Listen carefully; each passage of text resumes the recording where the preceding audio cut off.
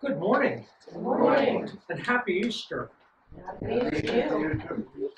We've got a lot of wonderful things that are going to warm you right up today. Let's get started with our Easter proclamation. Because the women came to the tomb on this first day of the week, hands laden with the spices of sadness. And so we come this morning, hearts broken by the sin of the world.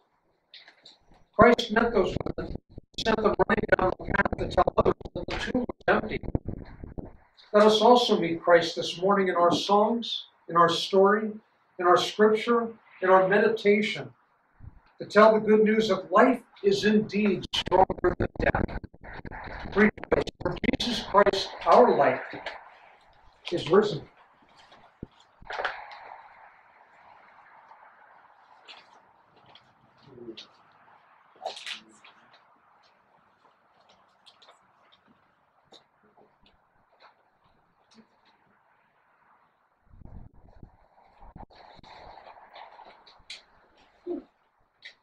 Join with me in prayer, please, for the blessing of the fire.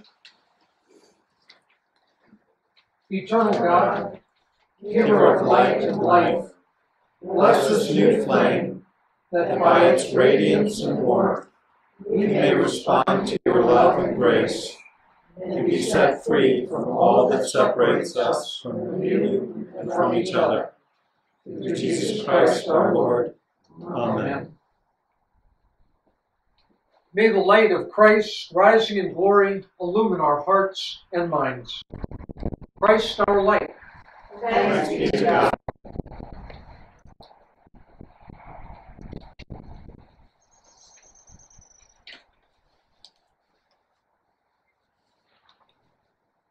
Jesus was baptized by John in the waters of the Jordan, became living water to a woman at a Samaritan well, washed the feet of the disciples, and sent them forth to baptize all the nations by water and the Holy Spirit.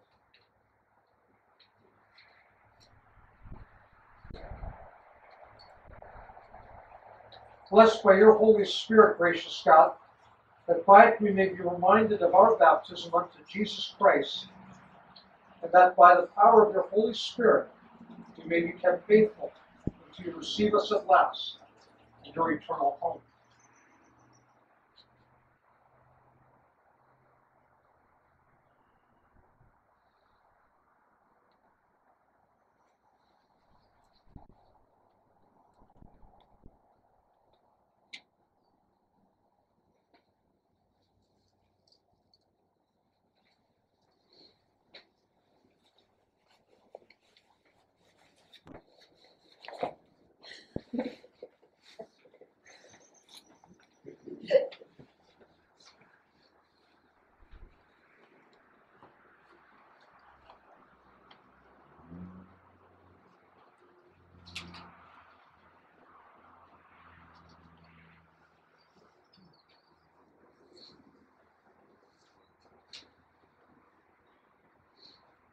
With one of the prophets announced a new covenant that you would make with all humanity. The water made holy by Christ in the Jordan. He made our sinful nature new, the bath it gives to Let this water remind us of our baptism.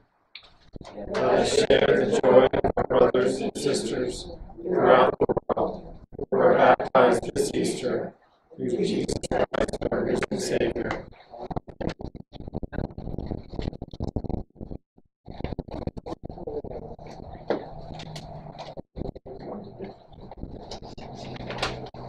Good morning. Good morning. Today's scripture is the Gospel of Luke, chapter 24, verses 1 through 12. On the first day of the week, very early in the morning, the women took the spices they had prepared and went to the tomb. They found the stone rolled away from the tomb. But when they entered, they did not find the body of the Lord Jesus. While they were wondering about this, suddenly two men in clothes that gleamed like lightning stood beside them. In their fright, the women bowed down with their faces to the ground. But the men said to them, Why do you look for the living among the dead? He is not here. He has risen. Remember how he told you while he was still with you in Galilee. The Son of Man must be delivered over to the hands of sinners, be crucified, and on the third day be raised again. Then they remembered his words. When they came back from the tomb, they told all these things to the eleven and to all the others. It was Mary Magdalene, Joanna, Mary the mother of James, and the others with them who told this to the apostles. But they did not believe them because their words seemed to them like nonsense. Peter, Peter, however, got up and ran to the tomb. Bending over, he saw the strips of linen lying by themselves, and he went away, wondering to himself what had happened. This is the word of the Lord.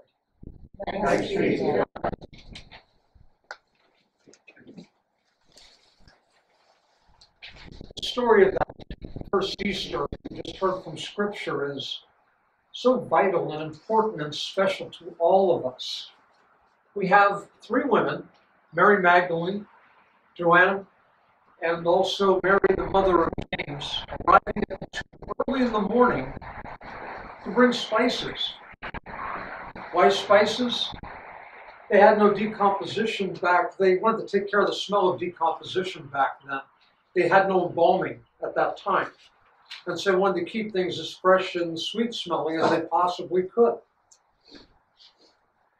But then, wait, is that Joanna?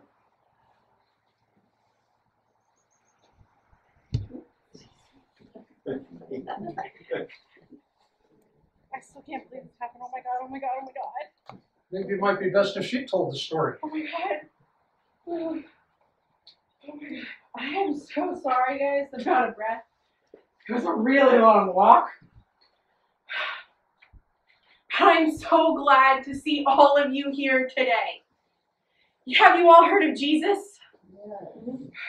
Oh, yeah. Did you hear about his crucifixion a few days ago? Oh my goodness. I was there when he was put on the cross. It was the most horrible, terrible, unimaginable scene think- thinkable. But he has done so much for me in my life. I knew I had to stand by him to the end. You see, I suddenly got very, very sick, and no one seemed to know how to cure my illness. That is until I met Jesus. He knew how to cure me.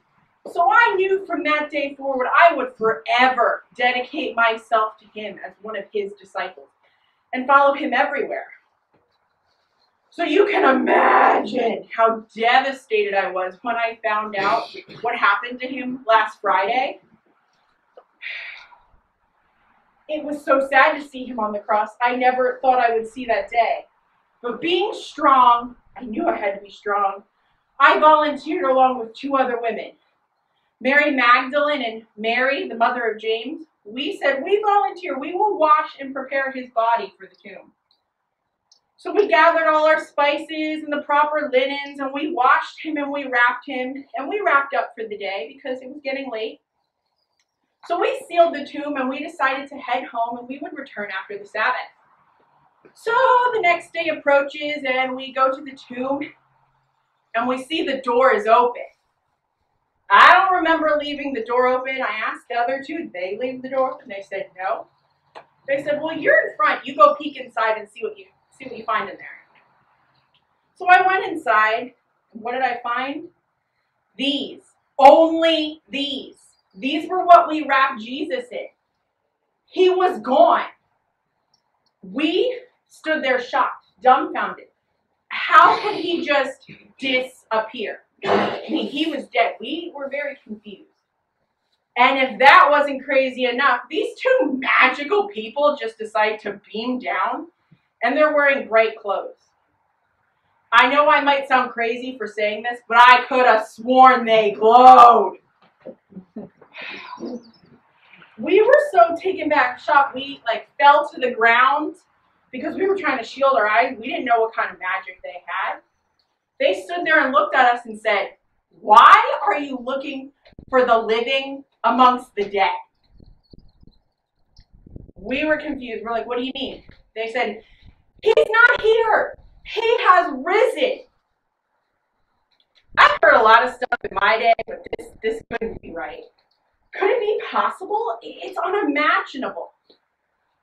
As shocked as I was, I knew I had to share this information with the others. So I said to Mary and Mary, we're going to split up. We're each going to tell some of the disciples and the people in the land what happened. And they said, oh, they'll never believe us. I said, if we bring these linens as proof, they will believe us. So we headed off towards the town. I know. This all sounds crazy, like it's written in some kind of book. But it's not crazy. I'm here to tell you it is the truth. He has risen. Tell all the others. Tell everyone. Shout it from the rooftops. Just let everyone know that he has risen. I might have to go take my own advice. I still haven't told Peter and the others what happened. I better go, or, you know, they won't believe me. I gotta go. Bye! Thank you, Joanna. The joy of Easter is a joy that absolutely must be shared. You take a moment and turn to your neighbor now and tell them how glad you are that they're here to share with you this joyous Easter celebration. Glad you're here. Glad you're here.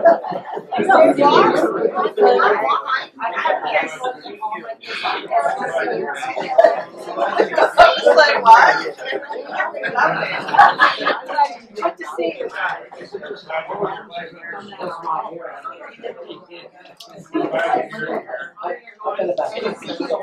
Yeah. To wear it, so I just. Hey, how you doing?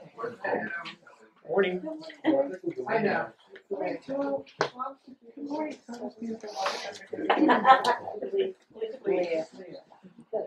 Let us pray.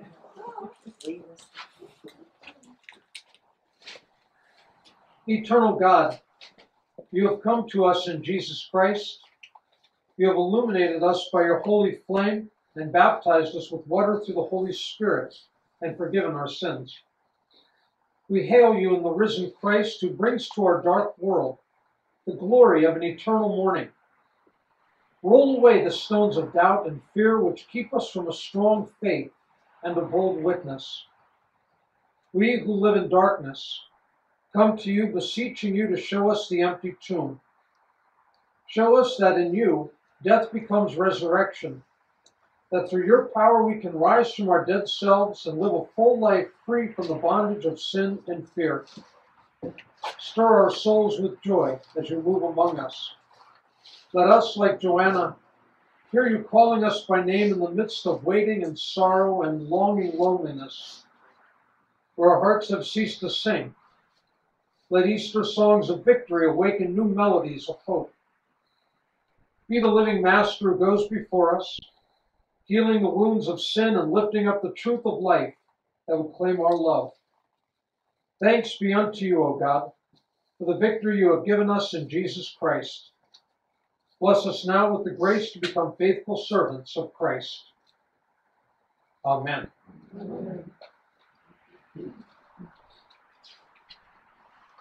At this time, we're going to be starting to enter into the sanctuary.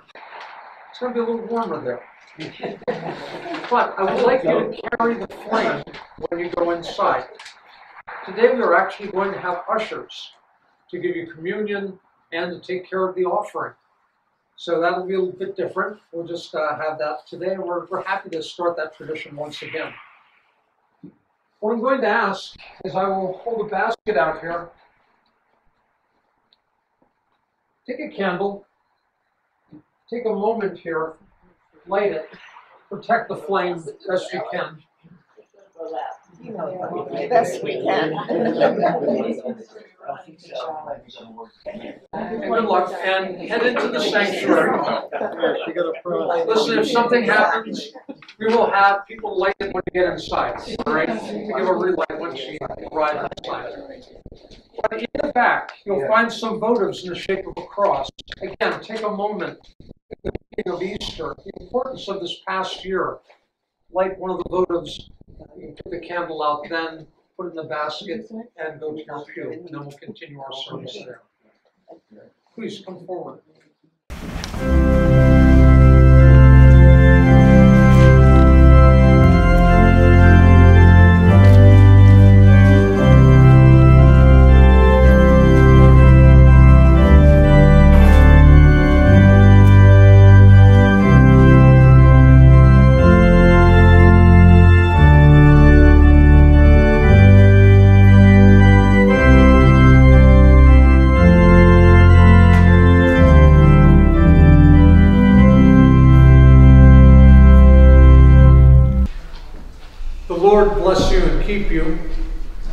Make his face to shine upon you and be gracious unto you.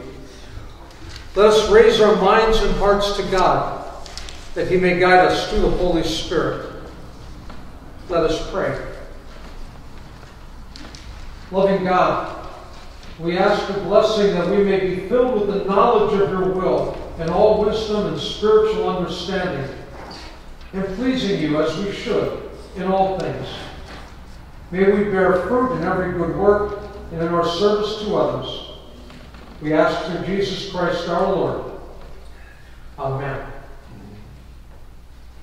Please rise and let's join our hymn, Christ the Lord is risen today, number 233.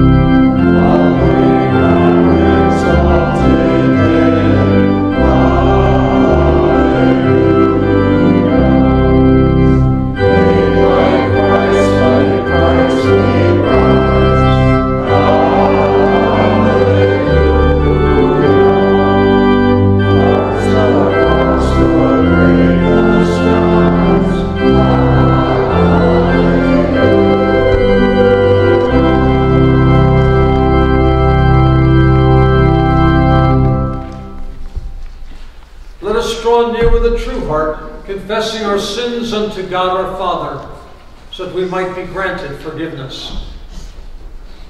Let us pray. God of our faith, The events of Easter trumpet of the resurrection of Christ, calling us to live as those who need fear death no longer. In our moments of doubt, help our unbelief.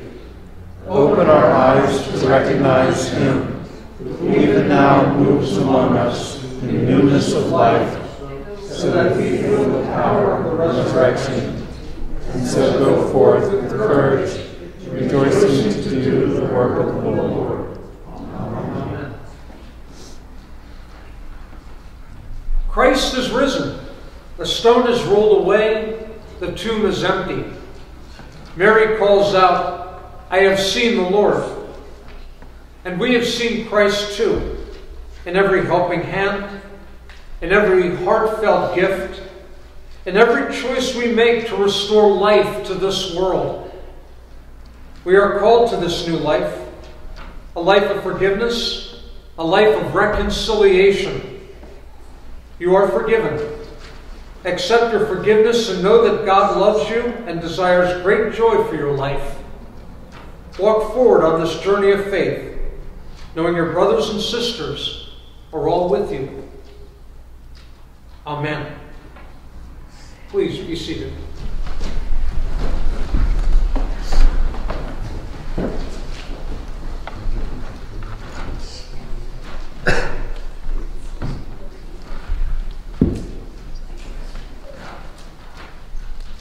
The scripture is Luke 24, verses 36 to 49. While they were still talking about this, Jesus himself stood among them and said to them, Peace be with you. They were startled and frightened, thinking they saw a ghost. He said to them, Why are you troubled? And why do doubts rise in your minds? Look at my hands and my feet. It is I myself. Touch me and see. A ghost does not have flesh and bones, as you see I have. When he had said this, he showed them his hands and feet. And while they still did not believe it, because of joy and amazement, he asked them, Do you have anything here to eat? They gave him a piece of broiled fish, and he took it and ate it in their presence. He said to them, This is what I told you while I was still with you. Everything must be fulfilled that is written about me in the law of Moses, the prophets, and the Psalms. Then he opened their minds so they could understand the scriptures. He told them, This is what is written The Messiah will suffer and rise from the dead on the third day, and repentance for the forgiveness of sins will be preached in his name to all nations, beginning at Jerusalem. You are witnesses of these things. I am going to send you what my Father has promised, but stay in the city until you have been clothed with power from on high. This is the word of the Lord. Thanks be to God. Please rise for our hymn of response. I come to the garden alone, number 315.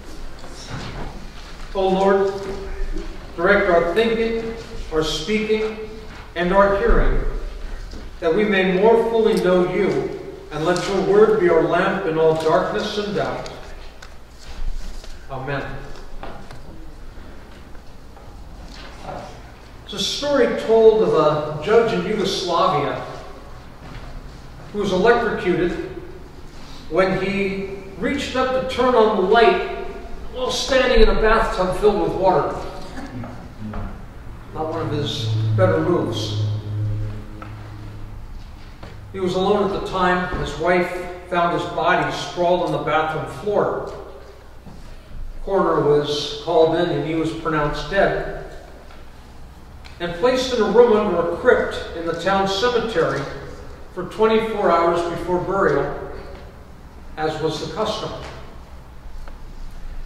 Now, the story gets interesting because in the middle of the night, the judge comes to. He realizes where he is. Not thrilled about it. It's locked. And he rushes over to alert the guard. Startled. The guard promptly runs off, terrified. Fortunately for the judge, the guard did come back with a friend. I think it's just so the guard didn't think he was completely insane. And they released the newly revived judge. So the judge's first thought is he has to phone his wife and reassure her that he's okay. But when he called, he got no further than, Honey, it's me. When startled, his wife screamed and fainted. So the judge then went to the house of several friends who were all startled and were certain he was a ghost. In a last desperate measure, he contacted a friend in another city who hadn't heard of his death yet. And this person, this witness, was able to convince his family and friends that the judge was truly not dead, but actually alive.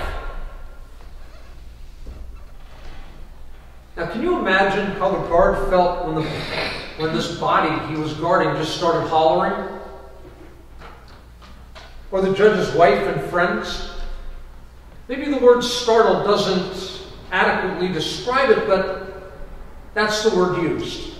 It's the same word that's used to describe how the disciples reached and how they felt when Jesus suddenly appeared in the midst of the upper room.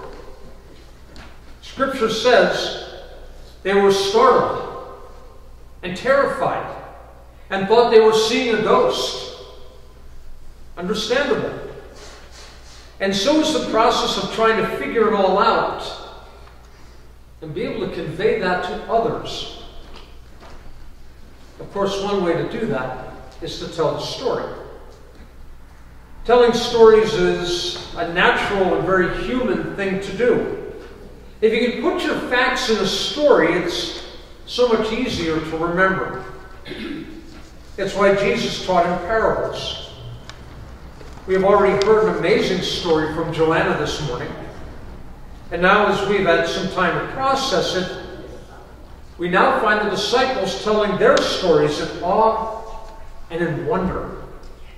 They're attempting to put into words and to try to make sense of this overwhelming news and the circumstances of Jesus' resurrection. Something so unexpected, so startling, has just happened in their lives that they seek to find a way to make some sort of sense of these events. They talk with one another, they share with one another, they tell their stories. Because it's often the unexpected event, that unplanned experience, that attracts our attention. And that's what makes a story come alive. Clearly, the fact that Jesus had been seen after such a horrendous and excruciating death was an unexpected event for everyone. They were taking hold of the events and using them to shape a story so that they could discover a deeper truth. Luke tells us they disbelieved for joy. It was simply too wonderful to be true. He was alive. He was with them. He was literally right there in their presence, raised from the dead. No wonder they had difficulty believing. And we may still have that problem today. Many desperately want to believe, but something holds them back. See my hands and my feet. The risen Jesus showed the disciples his scars because he was going to send them out to do the work of the Father. The things that he had sent them to do, to save wounded people. And they couldn't save wounded people unless they could see and touch and feel and understand Jesus' wounds.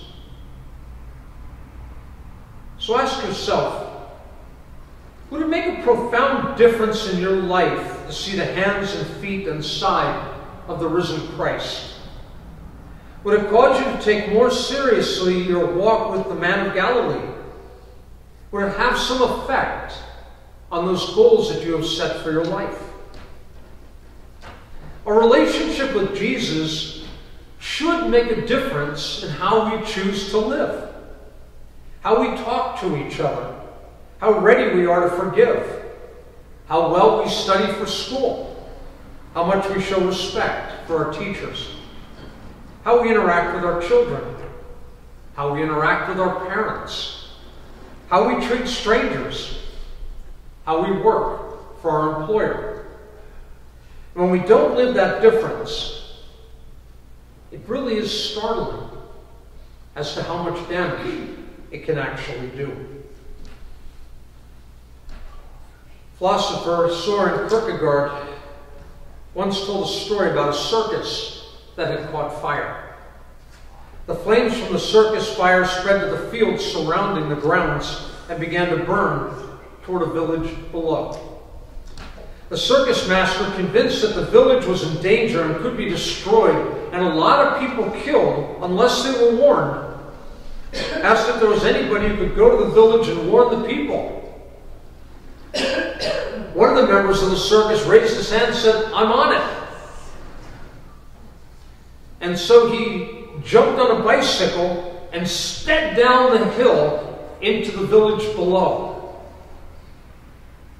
Of course, he didn't have time to change, and he was dressed as a clown. So when this clown came speeding through the town riding a bicycle, screaming, Run for your lives! Run for your lives!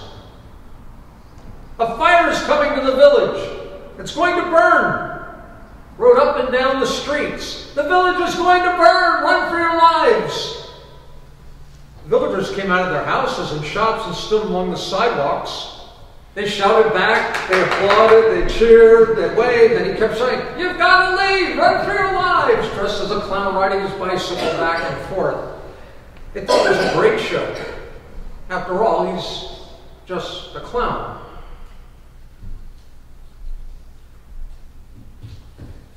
It's startling the amount of influence we don't have when we ourselves look like clowns and don't live like Jesus. When we don't live our faith, we're startled when our faith is challenged or when it comes under attack, even though Jesus said that's going to be normal, normal for Christians who truly live their faith. We're startled when we turn away from those in need because we know they probably buy booze or drugs, money we might give them, and then out of the corner of our eye, that fleeting nanosecond, did we just see the face of Christ? We're startled when the death of a loved one comes, as it will inevitably do. And we don't know how to handle the grief because we haven't incorporated the truth of the resurrection into our daily lives. So, as we celebrate this day and this good news, let's let ourselves be startled. Let's let ourselves be startled by Jesus. Let the forgiveness he offers through the cross flood through you and wash you clean of everything that keeps you separated from God. Let the good news of the empty tomb bring you new life. Let the power of God's Holy Spirit fill your heart and soul so that you can live like Jesus. Startle God. Startle Jesus. Startle yourself by living a startling life and become a part of the joy. Become a part of that story. Allow Christ to open your mind Allow Him to deepen your faith. Allow the unexpected to come into your life and into your heart this Easter. Amen.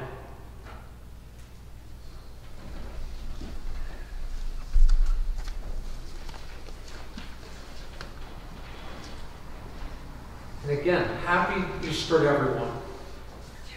Some wonderful joys First of all, a great expression of joy for Nevaeh, or Joanna, this morning. We always appreciate the wonderful things she does for us, and we will get to see her on Mother's Day, again, as she continues with her Women of Faith series. A thank you to Paul for breakfast this morning. What a wonderful meal. And for all of the people who have really helped this week in setting up all these different services, Judy and to Marcia and to Sharon and all of you have done just such a tremendous job. Greatly appreciated. Thank you so much. For our concerns, we turn to those people in our bulletin today. Keep them in your prayers always. Are there other joys and concerns that need to be brought to our attention this morning? I'd like to thank everybody for the flowers that everybody provided to decorate the sanctuary. And something new this year, it's going to be like an Easter egg hunt. You have to look for your flower. On each flower, there's a label of dedication or memorial. Um, so you need to look for your flower and take your flower, not somebody else's. Read the label and you'll be able to find your flower. So the real trick and challenge is if uh, for the flowers say in honor of we love mom and dad with the same message, then you know you got to kind of work that one out. But that'll be good. That's good. Wonderful. Yes, the flowers are beautiful. The whole church and the sanctuary looks wonderful. Thank you. Anything else? Let us pray. Our Heavenly Father, we thank you for these springtime days when all the earth preaches a glad Easter gospel. As the great stone was rolled away from Christ's tomb, cold winter has been pushed aside by the angel of spring. And we behold a resurrection. Crocuses, daffodils, tulips break forth from the earth. Buds and blossoms burst on limbs of shrubs and trees. The sad, dark soil becomes flushed with color as grasses awaken to the sun's tender touch. All that seemed dead comes alive. For these earthly mementos of the resurrection, we are so grateful. For Easter's reminder of Christ's victory over death, we praise you. Let us gladly claim his resurrection, that his presence may companion all of our days, that his example may be the living center of all of our thinking, all of our acting, and His love may govern our behavior toward all your children. We thank you, Lord, for the change that Easter hope makes in all of our days. Through Easter, we see that even the most awful tragedy is made by you into ultimate triumph. Through Easter, we know that earth's temporary victories are final defeats, and earth's seeming defeats are often your mighty victories. Our Father, let us look at all of life in the clear light of Easter Day, valuing most highly those things that death cannot corrode or snatch from us. Thus may the truth, the beauty, the goodness of Easter touch all of our tomorrows, and may we live all of our days in the glory of that morning. We pray in the name of our risen Savior, Jesus Christ, as he taught us to pray. Our Father, who art in heaven, hallowed be thy name. Thy kingdom come, thy will be done, on earth as it is in heaven. Give us this day our daily bread, and forgive us our debts, as we forgive our debtors. And lead us not into temptation, but deliver us from evil. For thine is the kingdom, and the power, and the glory forever. Amen.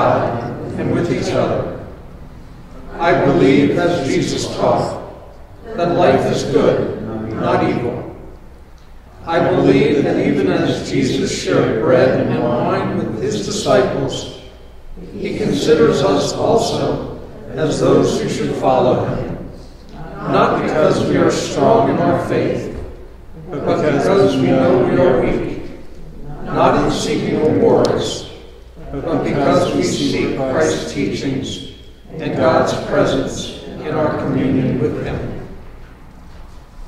We are now about to observe the sacred ordinance of the Lord's Supper. The altar with its gifts of bread and wine is open to all fellow Christians. We cordially invite all who sincerely seek to share this gift to join us, not because we must, but because we may.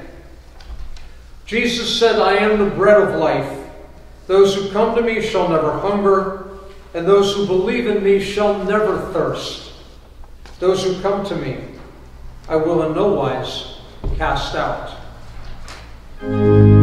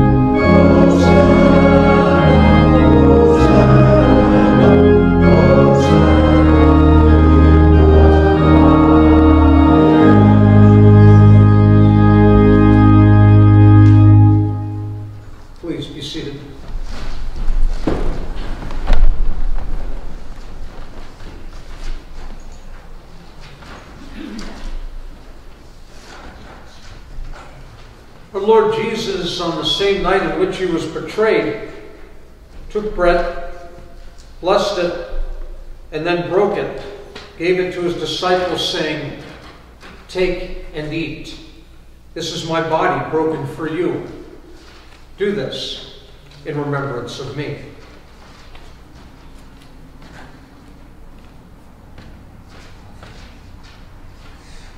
In the same manner, he took the cup, and after he had supped, said, This is the New Testament my blood shed for you. As often as you drink it, do this in remembrance of me.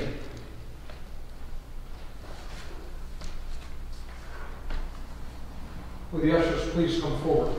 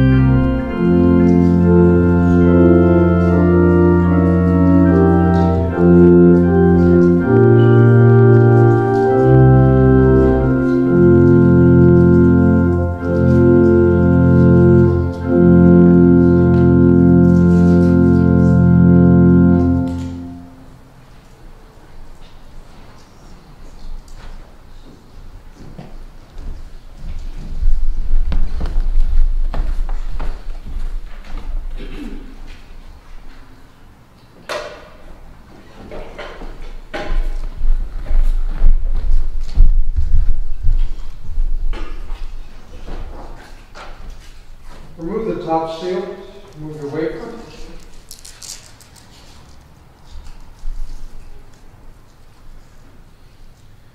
Take and eat the body of Christ that is broken for you.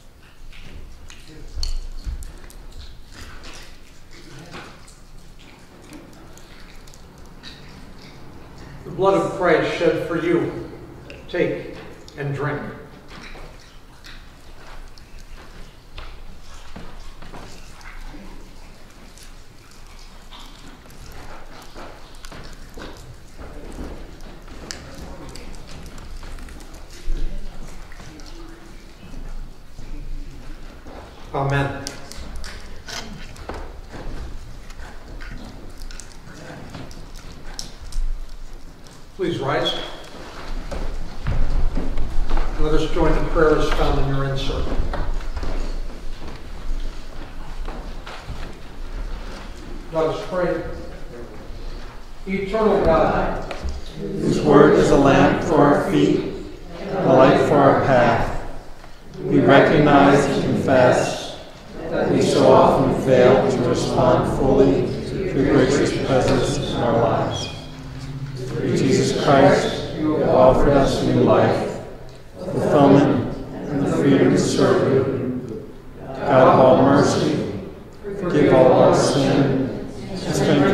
New you life as you intended.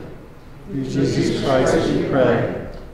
In the company of all the believers, and every time and beyond time, come to this peace to know our love in Christ. Let us join our hymn, Come You Faithful, Raise the strain. number 230.